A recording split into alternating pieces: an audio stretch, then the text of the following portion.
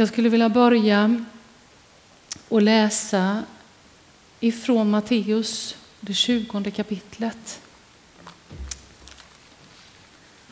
Och välkommen ni som lyssnar också via nätet och välkommen ni som har kommit hit. Varmt välkomna får vi säga. Det är varmt. Hör ni Jesus talade ofta i liknelser när han undervisade. Och det här är en av de liknelserna som jag vill dela tillsammans med er ikväll. Och jag har upplevt att det är som en profetisk hälsning. Det får var och en pröva, men jag har upplevt att det är det för den tid som vi lever i och till oss som kristenhet. Till oss personligt, men också kanske till kristenheten i Sverige idag. Så vi börjar och läser vad Jesus undervisar. Matteus 20 kapitlet och ifrån första versen. Ty himmelriket är likt en husbonde som tidigt på morgonen gick ut för att leja arbetare till sin vingård. Han kom överens med dem om en daglön på en dinar och skickade dem till sin vingård. Vid tredje timmen gick han ut och fick se andra stå arbetslösa på torget. Han sa till dem, gå ni också till min vigård? jag ska ge er en rättvis lön. Och de gick. Vid sjätte timmen och vid nionde timmen gick han ut igen och gjorde likadant. Också vid elfte timmen gick han ut och fann några andra stå där och han sa till dem varför står ni här hela dagen arbetslösa? De svarade honom därför att ingen har lejt oss. Han sa då till dem, gå till min vingård ni också. På kvällen sa vingårdens herre till sin förvaltare, kalla på arbetarna och ge dem deras lön. Men börja med de sista och sluta med de första. De som hade blivit lejda vid elfte timmen kom då fram och fick varsin denar.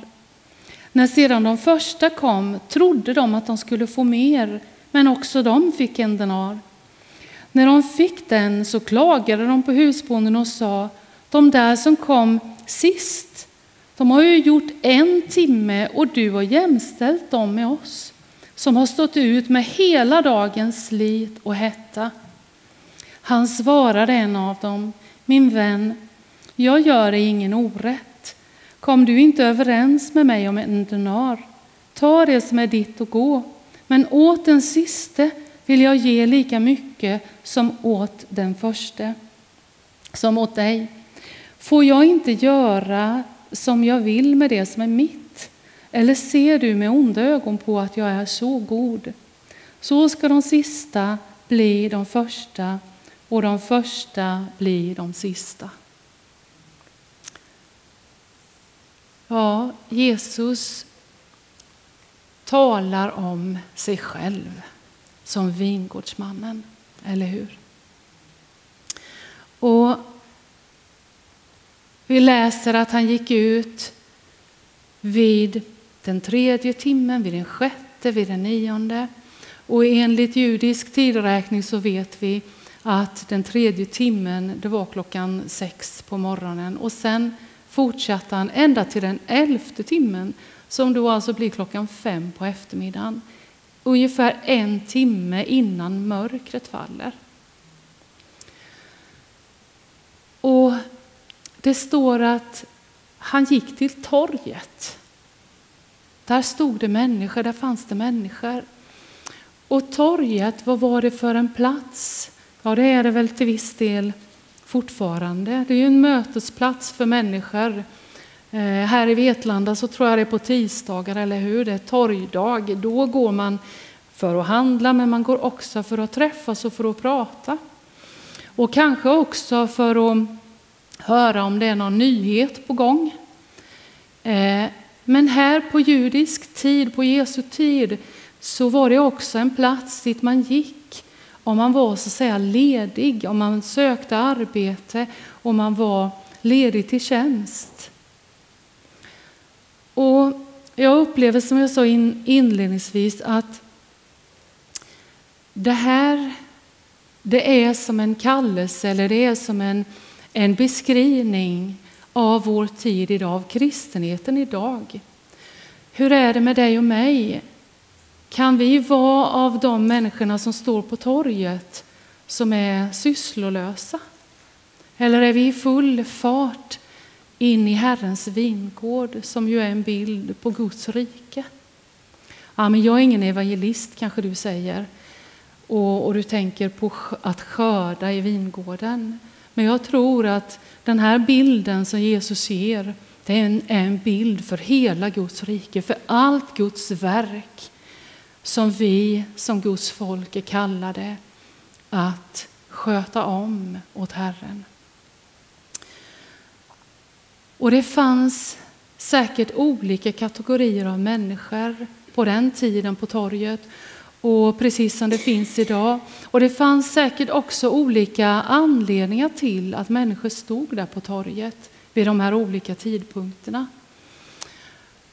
Och det kan vara så att för oss, att om vi nu försöker föra över det här på eh, i en andlig bemärkelse, så tänker jag att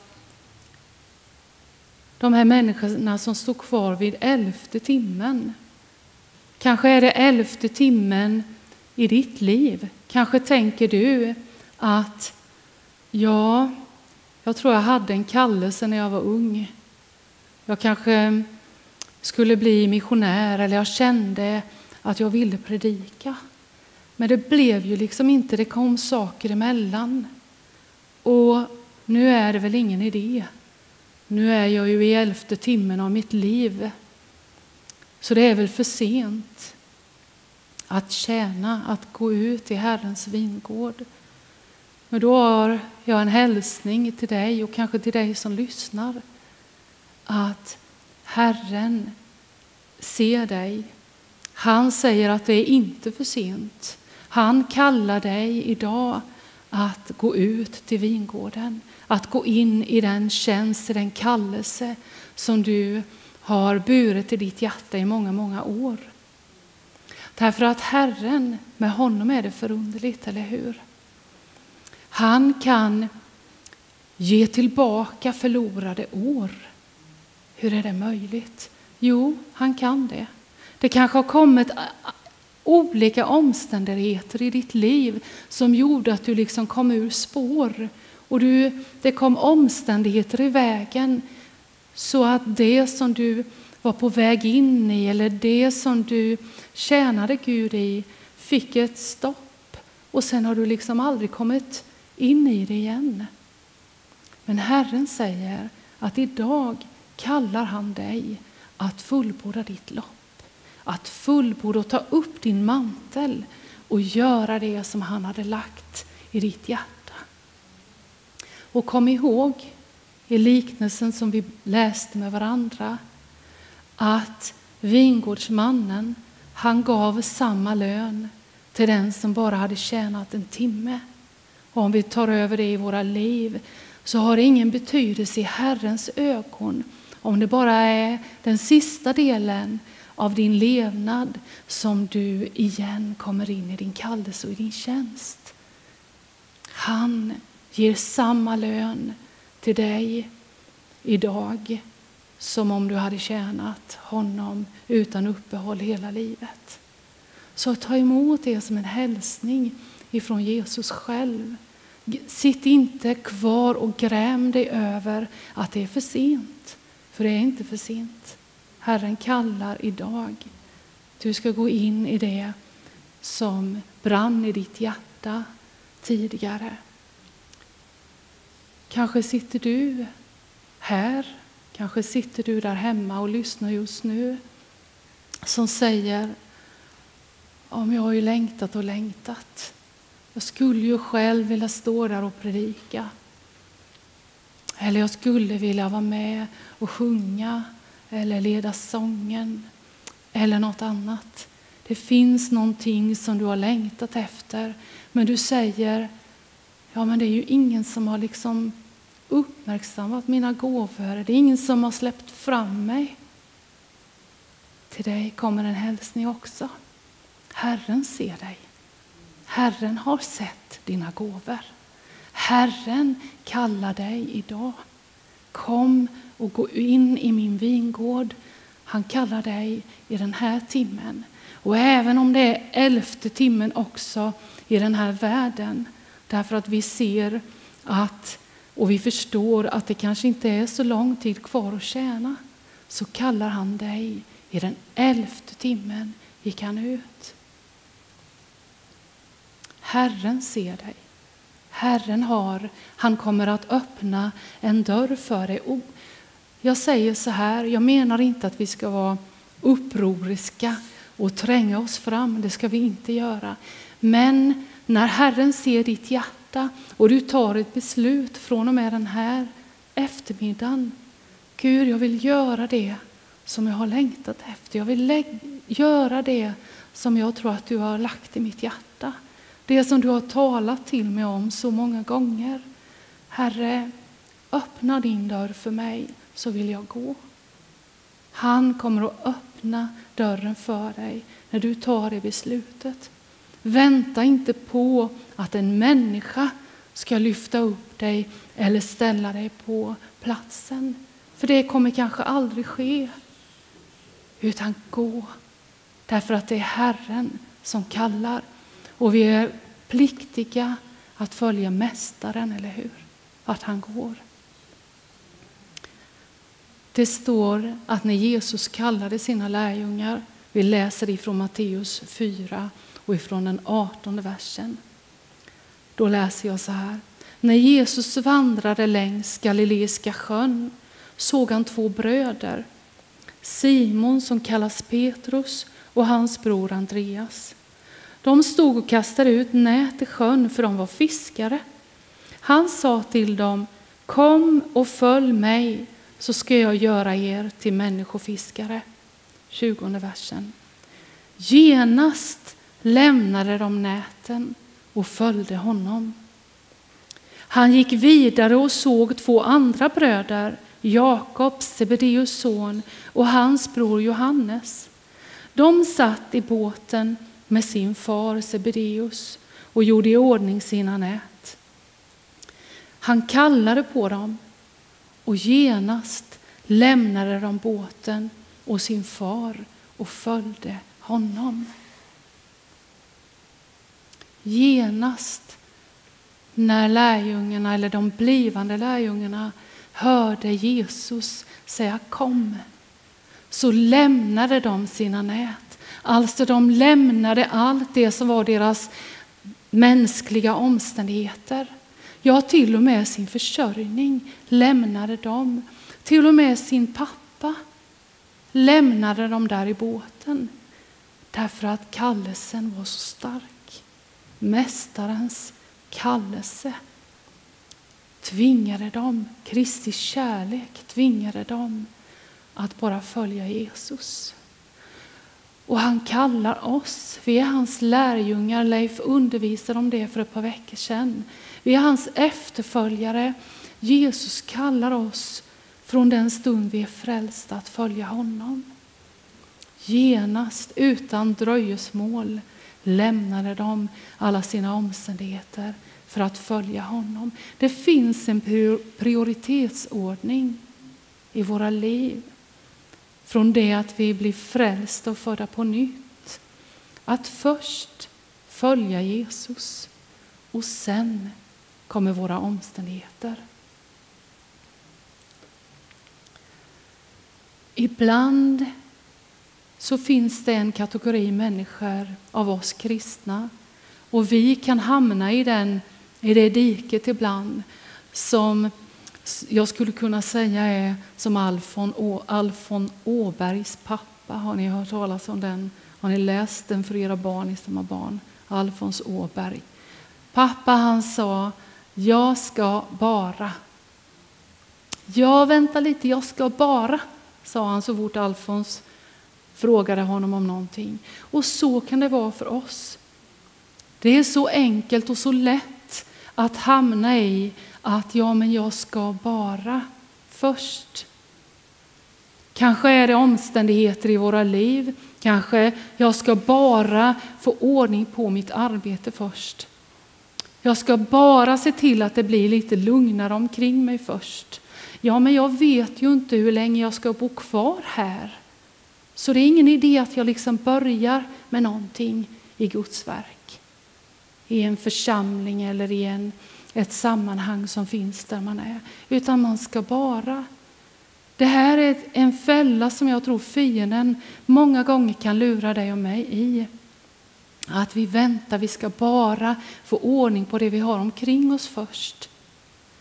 Och vänner, så är det ju att det blir aldrig någon tid som passar för att tjäna Herren. För att göra det där som vi vet ligger i våra hjärtan. Omgivningen tycks aldrig liksom bli rätt utan det kommer något nytt igen i våra liv. Så vi bara måste göra det först, sen. En annan liknelse som Jesus tar för sina lärjungar. Jag tror att det här var som en lärjungaträning när han la grunden för deras tjänst. Så tog han de här bilderna för dem för att de skulle förstå vad det var att följa honom och för att de skulle lära sig att prioritera rätt. Matteus 21, alltså bara ett blad fram i Bibeln och ifrån den 28 versen.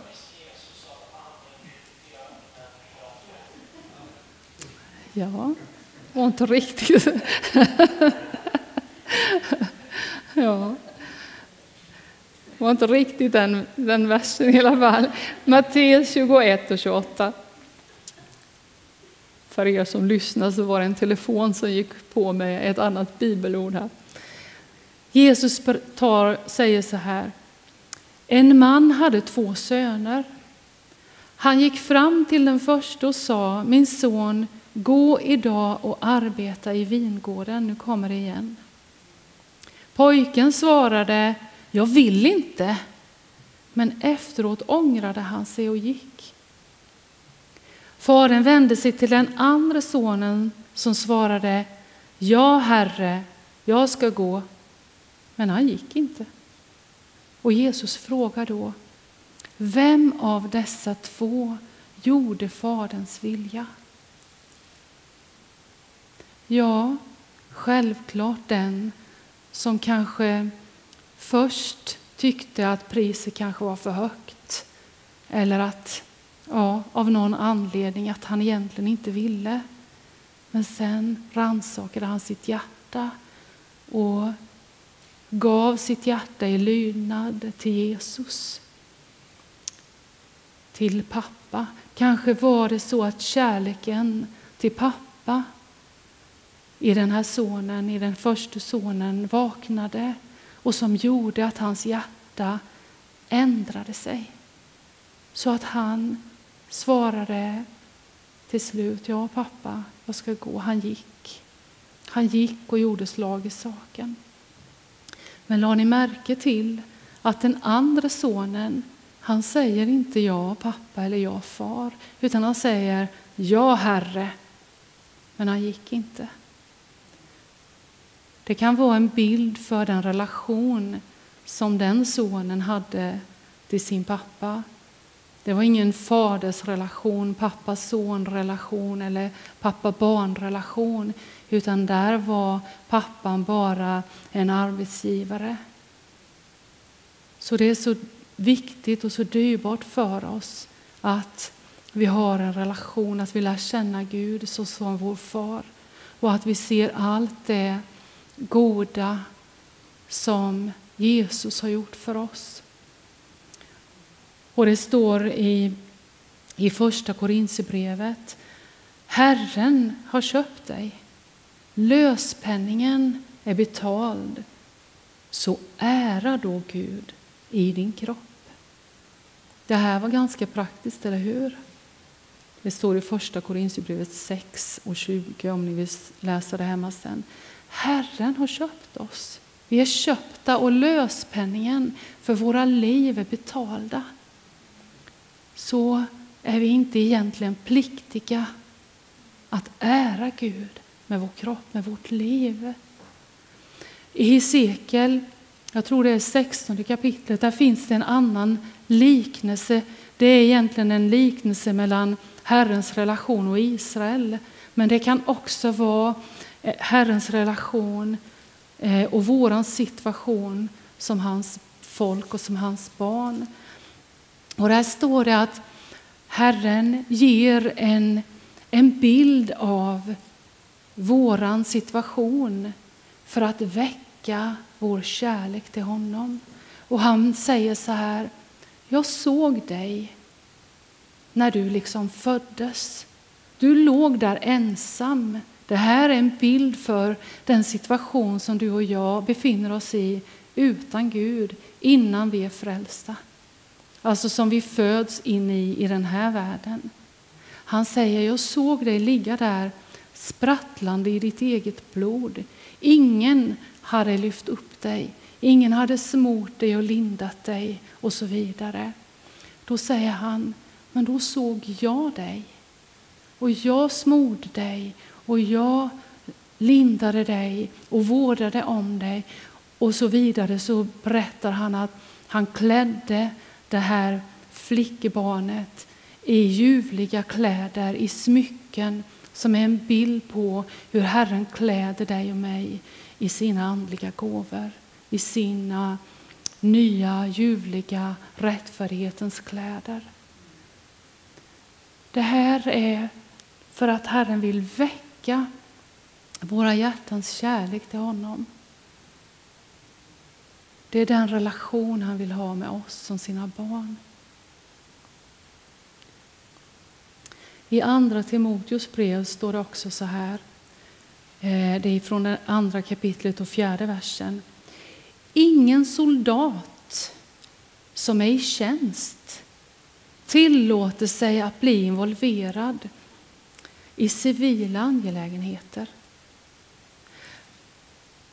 Om man läser ifrån kärnbibeln som vi har hört talas om många gånger nu som är väldigt, väldigt bra. Det ger så mycket och den finns som en app också om du inte vill köpa bibeln som den är nu.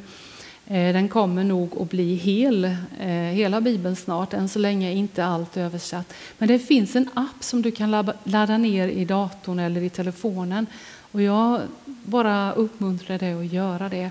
För ibland kan det vara så att man vill slå upp någon, något textsammanhang och det ger så mycket kött på benen. Så i den här, om vi läser i kärnbibeln i, i den här versen så står det så här. Ingen soldat som är i tjänst tillåter sig att bli involverad, engagerar sig eller snärjer in sig i civila angelägenheter och andra ord blir helt upptagen bara med arbete, med familj eller fritid. Är inte det ganska talande? Är det inte det som vår tid väldigt ofta kan gå åt till? Nej, han gör inte det, står det vidare, för han vill tjäna den befälhavare som värvade honom till att bli soldat. Vi är Guds folk, vi är Guds soldater. Han har värvat oss, det hörde vi Markus predika om för ett par, några veckor sedan. Att vi är Guds soldater, vi är inmönstrade i hans armé. Och då verkar det vara så att faktiskt Herren räknar med att inte du och jag ska vara upptagna av våra egna civila angelägenheter. Alltså exempel som vi hörde här innan. Utan vi ska vara fokuserade på det som är Herrens angelägenheter. Det kommer bli tid för det andra också, men vårt första fokus ska vara Herrens angelägenheter. Och det finns i den här tiden framför allt. Det finns ett beskydd i att vara i tjänst för Gud. Ni har förstått att min, mitt fokus i den här första bilden och liknelsen det är den elfte timmen. Alltså den timmen som vi befinner oss i nu innan mörkret faller. Arbeta medan dagen varar, säger Jesus på ett ställe därför att natten kommer då ingen kan verka. Och det finns ett beskydd i att vara i tjänst. Eh, eh Petrus säger i andra Petrus brev 1 och 10. Ni behöver inte slå upp det jag läser. Därför mina syskon, mina bröder och systrar i tron ifrån kärnbibeln igen då. Gör ert yttersta. Gör ert yttersta för att befästa er kallelse och utkårelse. Och det här har en dubbel betydelse. Kallelsen den äger ju rum när du och jag tar emot Jesus. Vi blir kallade och vi svarar ja till honom. Medan utkårelsen den ägde rum redan innan tidens begynnelse, står det. Så utvalde Gud dig och mig att bli frälsta. Men han utvalde oss också utifrån en utkårelse vad han ville med våra liv. Han hade en plan redan ifrån tidens början och innan tiden hade börjat med ditt och mitt liv. Och precis på samma sätt som en människa behöver ge ett gensvar till Guds kallelse till frälsning, att ta emot det som Jesus har gjort på Golgata. Det är ju först då en människa blir född på nytt och blir frälst. På samma sätt är det med kallelsen till Guds livsverk för ditt och mitt liv. Att vi behöver svara ja på det. Vi behöver ge ett gensvar till Herren och då öppnas den här dörren, utkårelsen för våra liv. Och det är viktigt, säger Petrus här, att du och jag gör den kallelsen och utkårelsen fast i våra liv. Inte bara att vi är utvalda att bli frälsta, utan också att vi får svar på Gud, vad, vad vill du med mitt liv? Vad är meningen med mig? Vad har du tänkt? Hur kan jag förhärliga dig? Hur kan jag ära dig med mitt liv? Vad är det som behagar dig med mitt liv? Sådana frågor svarar Herren på. Och jag tror att du redan vet det i ditt hjärta. Eller hur? Du vet det redan därför att det brinner en eld här inne. Och vad står det vidare? Varför är det så viktigt? Det står faktiskt så här vidare. För om ni gör det, då ska ni aldrig, nej aldrig någonsin falla. Tänk så viktigt i den tiden när vi läser i ordet och i Uppenbarelseboken till exempel om hur det kommer bli den sista slutstriden innan vi får flytta hem till Jesus. Vi vet att Bibeln säger att det blir svåra tider. Vi behöver göra vår kallelse och vår utkårelse och vårt barnaskap också fast i Herren. Det är ett beskydd för oss. Och då står det vidare, på det sättet, på det sättet ska ni rikligen få allt ni behöver för ert intåg, er ankomst, säger kärnbibeln, till vår Herre och Frälsare Jesu Kristi eviga rike. Alltså till himlen. När vi gör vår kallelse fast, när vi är i full verksamhet för Herren, så kommer vi att få allting som vi behöver på vår vandring hem till himlen. Jag tror att fienden många gånger lurar oss som Guds folk med detta. Att han ser till med de här olika exemplen som vi har börjat med. Ja, men det är nog för sent nu. Ja, men jag, jag, nog, jag är nog inte tillräckligt smord eller tillräckligt andlig så jag kan nog inte tjäna Gud. Eller han har nog ingen nytta av mig. Eller, ja men jag kommer ju aldrig fram. Eller, jag ska bara. Fienden lurar oss för att han vet att vara i tjänst är det bästa beskyddet för en kristen. Varför? Därför att då har vi fullt fokus. Fullt fokus på Jesus, fullt fokus på hans angelägenheter. Synd och värld, det är inte ens intressant för dig och mig då.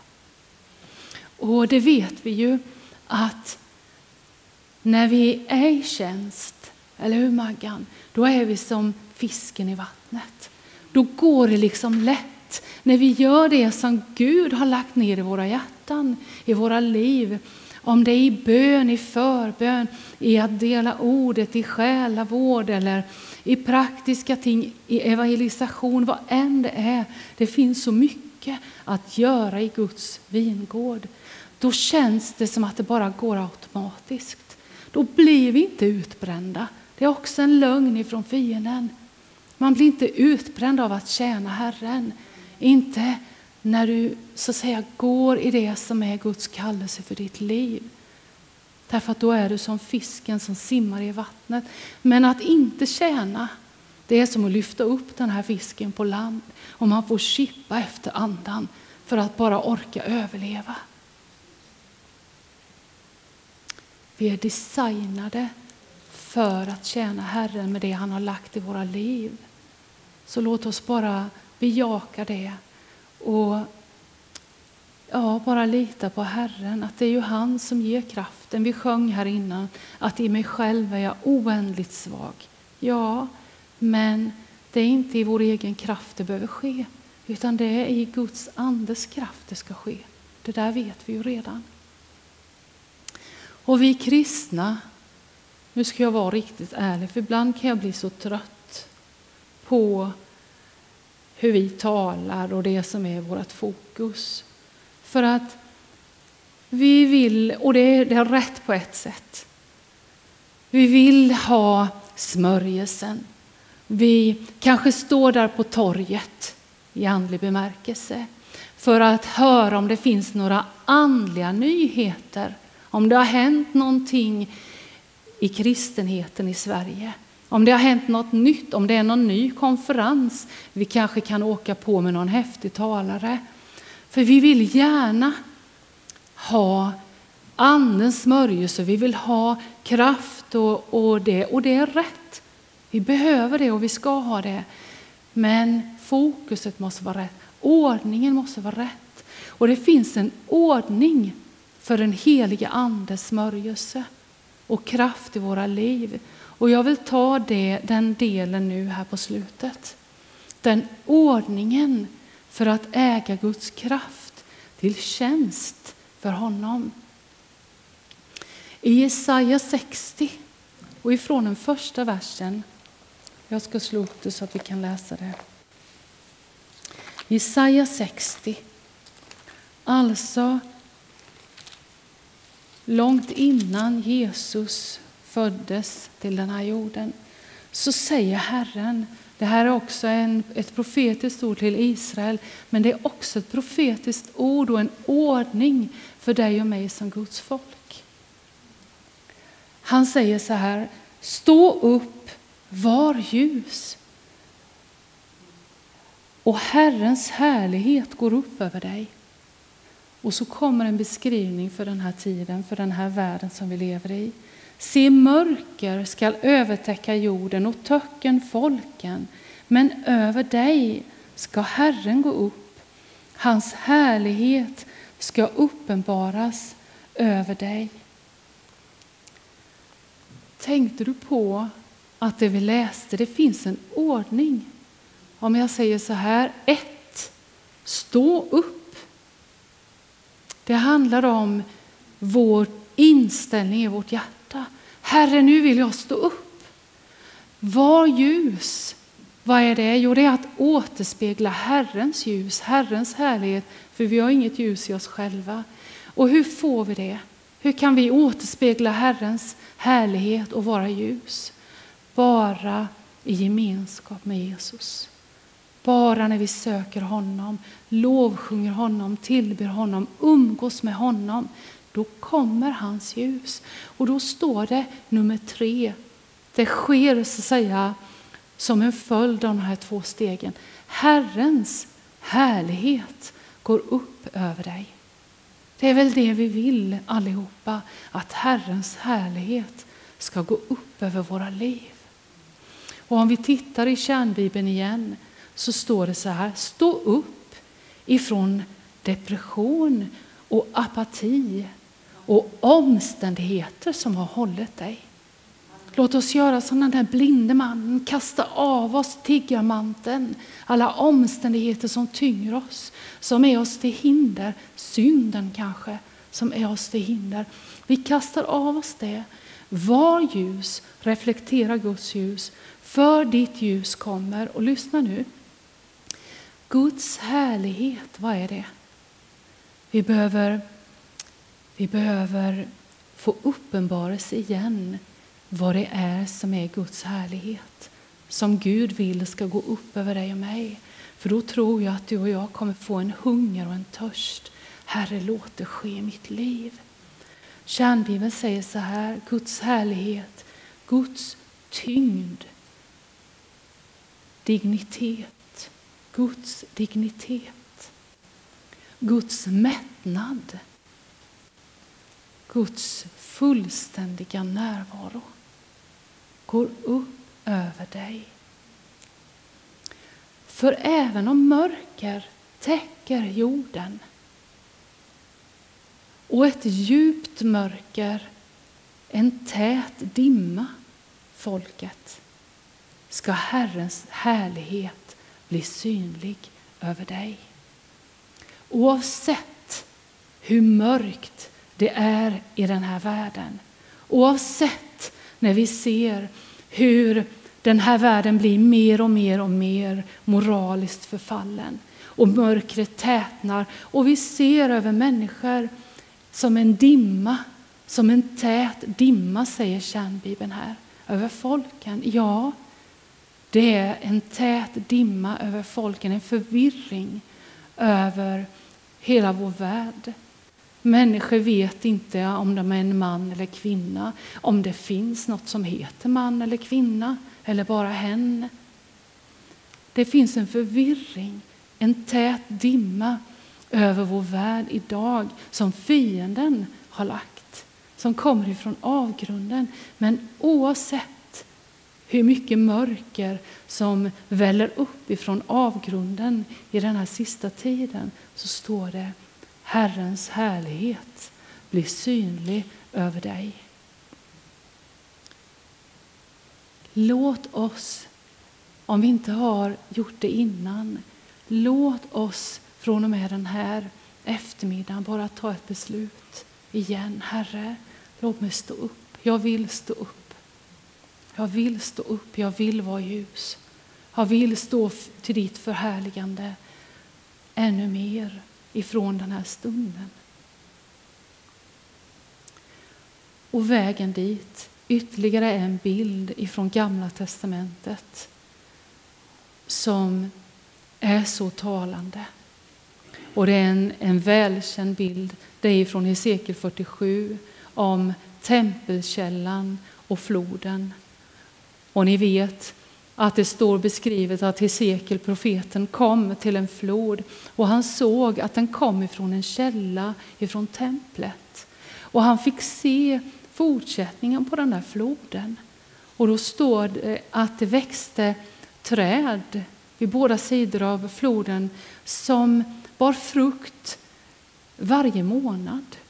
Och det står att löven på de här träden tjänade till hälsa och läkedom och liv. Och det står att överallt dit vattnet kom, där blev det liv. Där blev det liv. Så det ska vi ha med oss som en liksom bakgrund nu när vi börjar titta på detta. Och vad händer då? Jo, Hesekiel, profeten, får se en man som kommer till honom där, kommer honom till mötes. Och det står att han har en, en mätstång i sin hand. Och han säger till profeten, kliv ut i vattnet. Kliv ut i strömmen, i floden. Han mätte upp tusen alnar, står det, och Hesekiel lydde och satte sina fötter i vattnet. Och det står att vattnet nådde honom till anklarna, till vristerna. Och jag tror, det finns säkert många, det finns många predikningar över den här texten och det finns många tolkningar. Men jag vill ge en tolkning ikväll där jag tror och där jag ser att den här floden, det är en bild för den helige Ande. Och det, är det som Hesekiel fick göra, det var profetiskt för en människas liv, för en människas vandring tillsammans med Gud och också en bild för Guds vilja med våra liv.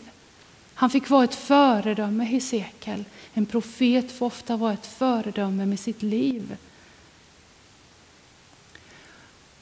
Och när vattnet räckte till anklarna, till vristerna, det är en bild på det första mötet som du och jag har med den helige Ande. Det är när vi blir frälsta, när vi blir födda på nytt, när den helige Ande flyttar in i våra hjärtan och vi blir andedöpta. Och många människor, många gånger så tänker vi att nu är det allt. Nu är jag andedöpt, nu talar jag i tungor. Men vet du, det är som att, att stå i vattnet till vristerna. Och vet man inte om mer, ja, då tycker man att det är gott nog kanske.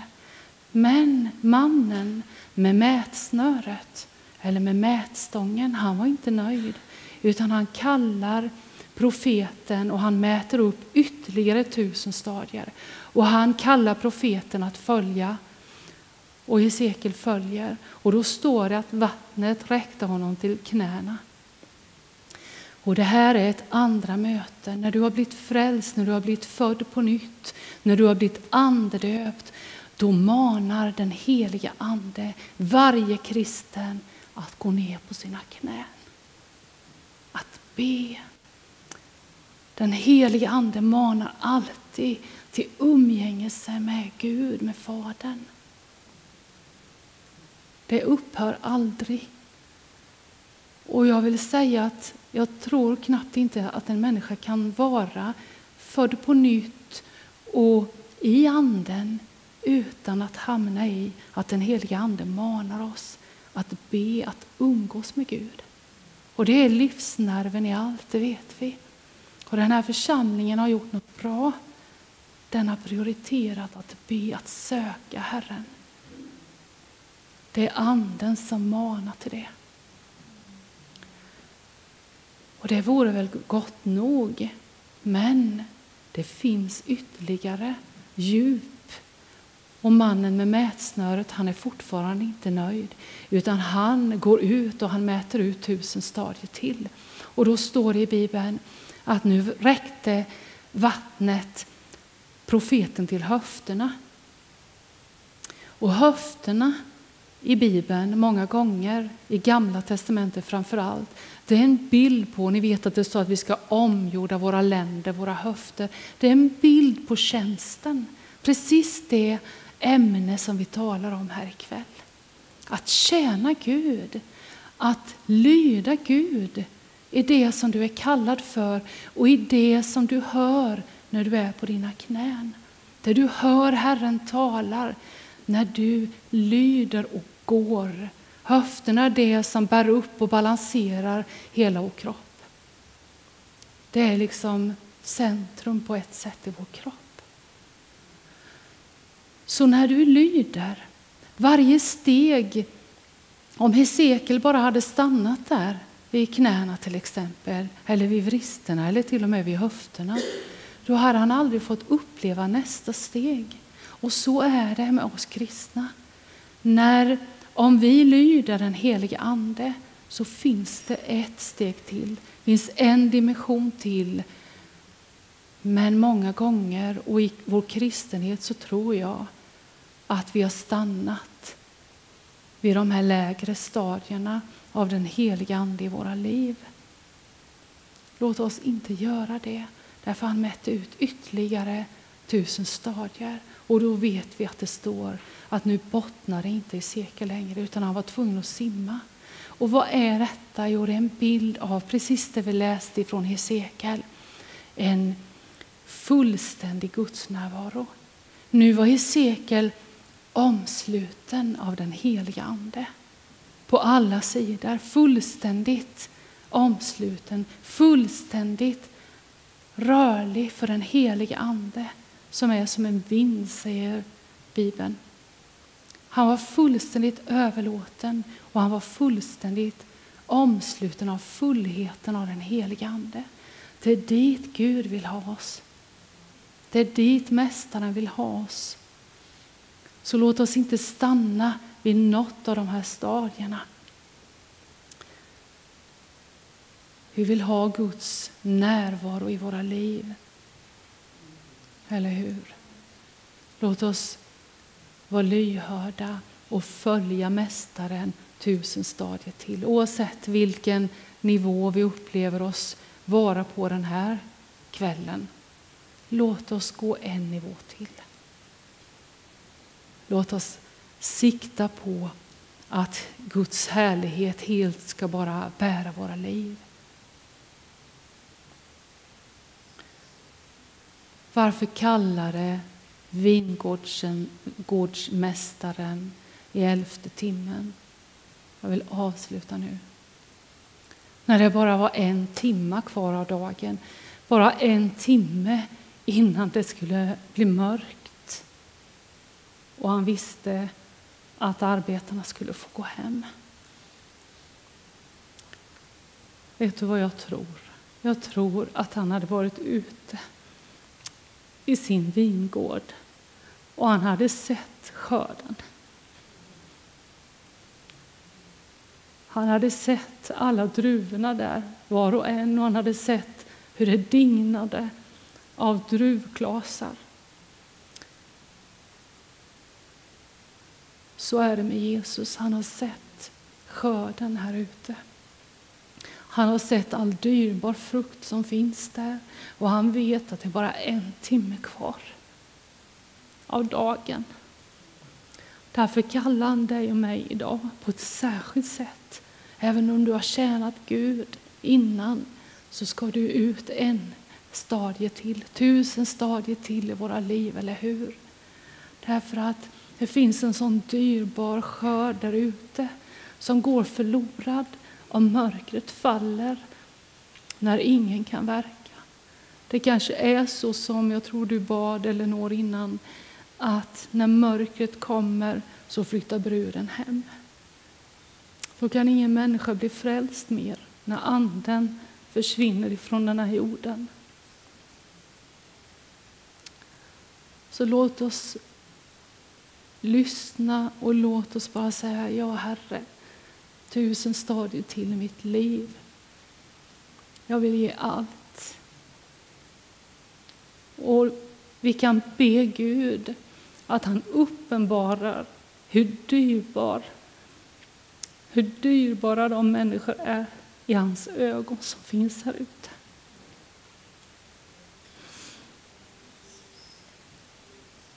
Och jag vill också säga till dig som lyssnar, om du finns här som inte fortfarande är en kristen. Du är skörden. Du är så dyrbar i Herrens ögon. Han har gett allt, han har gett sitt liv för dig.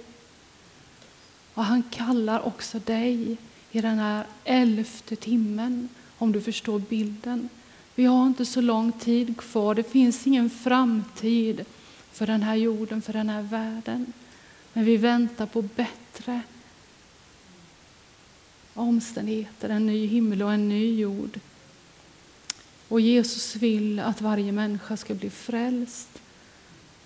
Så om du finns som lyssnar och som fortfarande inte är frälst, jag vill bara säga till dig och alla vi som är här i den här församlingen ikväll, jag tror att vi alla kan säga det är det bästa, det absolut bästa vi någonsin har gjort och det bästa val en människa kan göra, det är att svara ja när Mästaren kallar.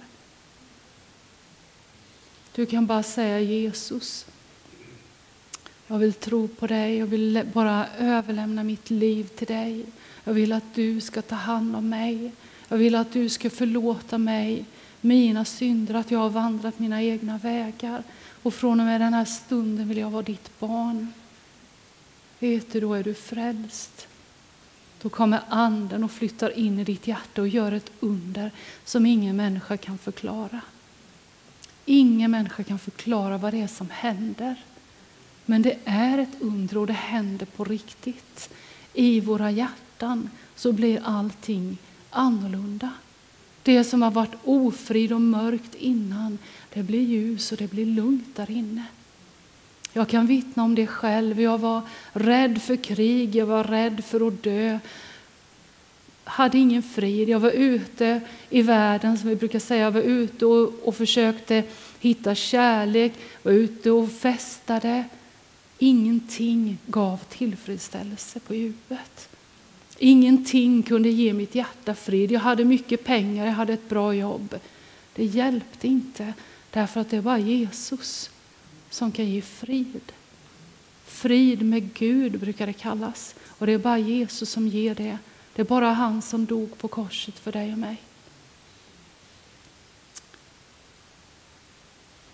Och jag tänker, det finns fler bilder Jesus tar. Han, han tar en bild av att en man, en rik man, en kung bjöd till bröllop. Och på Jesu tid så var det så att man kom inte som vi gör nu och går och shoppar och köper nya kläder för det som vi vill ha på bröllopet, utan då skickade världen ut kläder, festkläder till de som var bjudna. Och Det var också en bild på att man visste att de som kom i de här festkläderna till bröllopet, de hade fått inbjudan. De var kallade. Och så är det en bild att Jesus han har gett en festklädnad till dig som lyssnar som ingen kan köpa för pengar. Den köpte han när han dog på korset. Och det brukar vi kristna säga att det är rättfärdighetens mantel, kläder. Och om man är bjuden till ett bröllop, då borde man väl svara ja, eller hur? Man är bjuden på ett bröllop, då tackar man ju ja.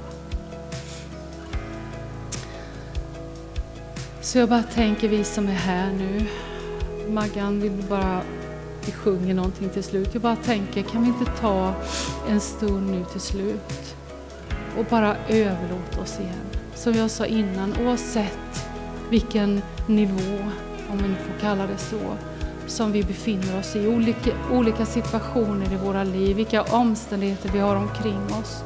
Det spelar ju ingen roll. Låt oss bara ta en liten stund och överlåta oss igen och bara ge honom rätten att mäta ut tusen stadier till i ditt liv. Och vi vet, som vi sa innan med bilden med fisken i vattnet, att det är det mest underbara liv som vi kan leva. Att vara i Guds vilja med våra liv helt och fullt. Jag tror till och med att det finns läkedom och upprättelse i att vara i tjänst, att vara i Guds vilja.